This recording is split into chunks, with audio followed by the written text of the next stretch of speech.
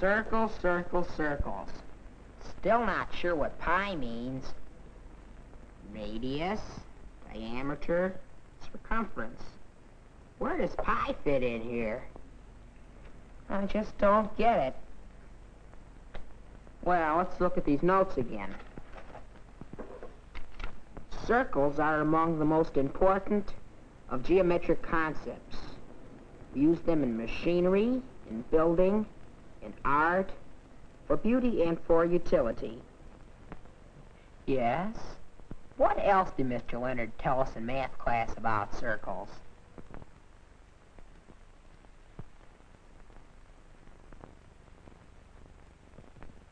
Wheels are circles.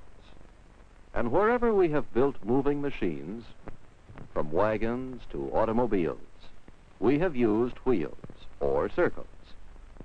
To visit a shop where tools are used is to see many circles being put to many different uses. For a circle is useful, and it is beautiful. But how does that help me to understand pi?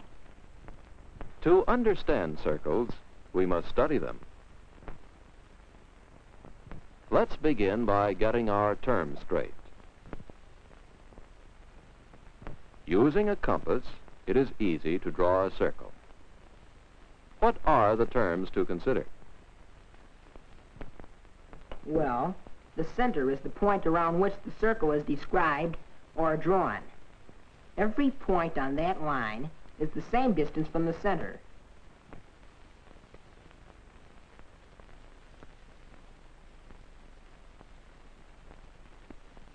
Any straight line from the circle to the center is a radius.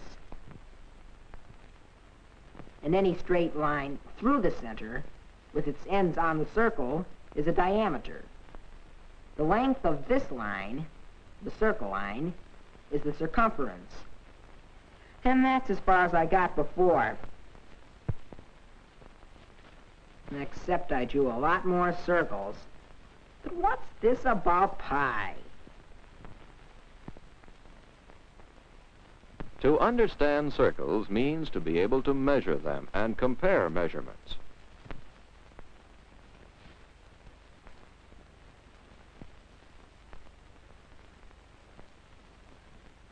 Go ahead, John. You can do it. That yardstick ought to do the job. Now, make a point in your circle so you'll know where you began to measure. Just roll your circle over the measuring stick until the arrow comes around again, and you have the length of the circle, or the circumference. It's 31 and 7 sixteenths inches. You can measure a circle after all. It isn't hard to measure the diameter directly. If measuring will do it, well, here I go. And now you should know a lot about circles. Maybe even something about pi. You've measured a lot of circles. This sprocket wheel with a diameter eight and a half inches long has a circumference of 26 and 5 eighths inches.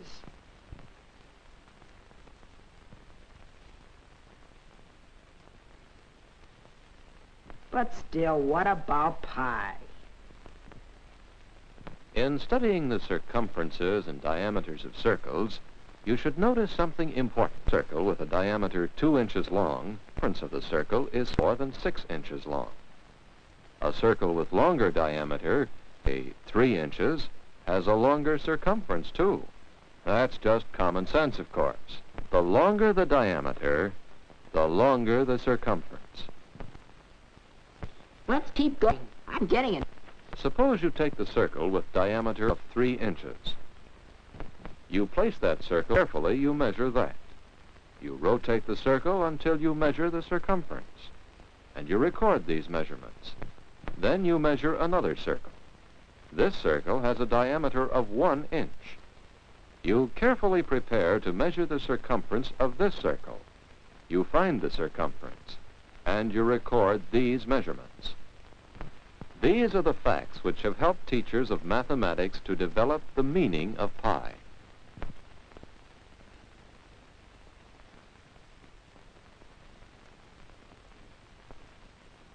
I think I'm beginning to understand, but not quite. Let's think of the facts in a different way.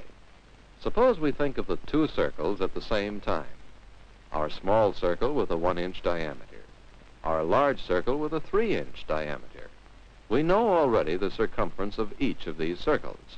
Now, let's compare the length of the diameter of the small circle with its circumference. We can see this comparison by seeing how many diameters it takes to equal the circumference. We can see that it takes three diameters and a little more to equal the circumference of the small circle. What about the large circle? How many diameters will it take to equal the circumference of the large circle? Once again, we see it takes three diameters and a little more to equal the circumference. Is that true of all circles? The three and a fraction diameters of any circle equal the circumference of that circle? I should be able to answer that. Let's figure the ratio of those I've measured. Ratio of circumference to diameter.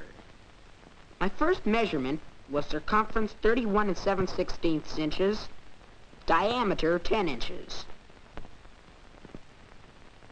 3.1 3.14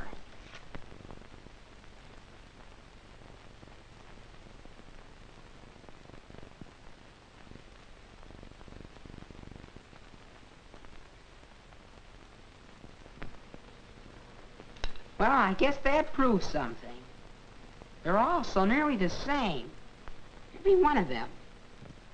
You know, that's quite a discovery. The circumference is a little more than three times the diameter. We usually use 3.14 as pi. Hmm. I didn't need to measure the circumference. To find the circumference, I could have just measured the diameter and multiplied by 3.14. And why couldn't I understand that when I read it before? Pi. Mathematical. The letter pi denoting the ratio of the circumference of a circle to the diameter. I'll bet I've read that a dozen times before and didn't know what it meant. The ratio of the circumference to the diameter. The value of this pi to eight decimal places is 3.14159.265. Wow.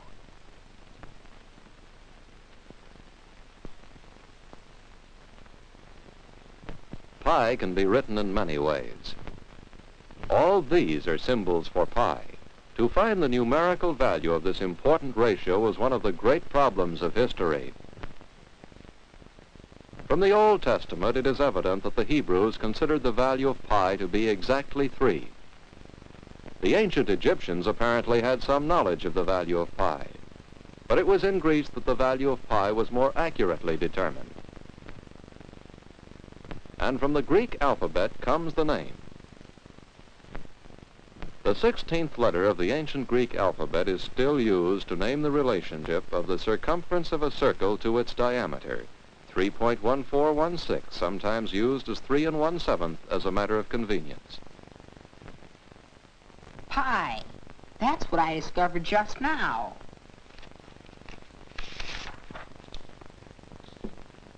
Circle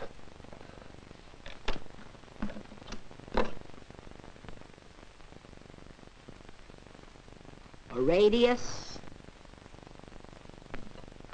a diameter, and pi.